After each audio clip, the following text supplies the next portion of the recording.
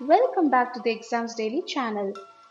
So today what we're going to discuss about is on the release of CTET admit card and we're going to see how to download the admit card in detail.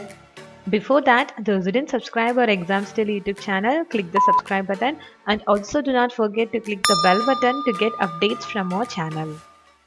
So the admit card for the Central Teacher Eligibility Test December 2019 scheduled to be held on 8th of December 2019 Sunday. Now the CTET admit card has been released officially. Candidates can download the CTET admit card December 2019 from our website.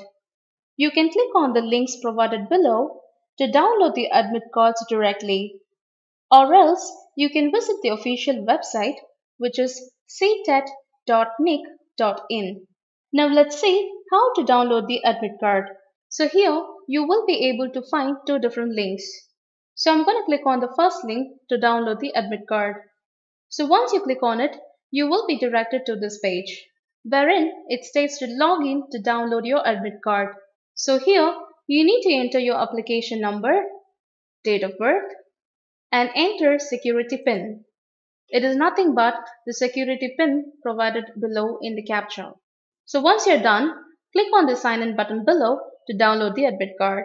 So if in case, if you find the server to be busy, please do click on the second link which is provided below to get to this page and fill in these details and sign in to download your admit card.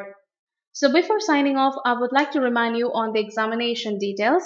So as we all know the exam is to be held on 8th December 2019 Sunday for both paper 1 and paper 2 and the timing would be for the paper 1 is 9:30 a.m. to 12 noon and for paper 2 it is from 2 p.m. to 4:30 p.m. on the same day and the duration will be for two and a half an hour which is like 2 hours 30 minutes so all the very best and you will be able to download the admit card directly from the links provided in the description box all the very best and thank you so much for watching this video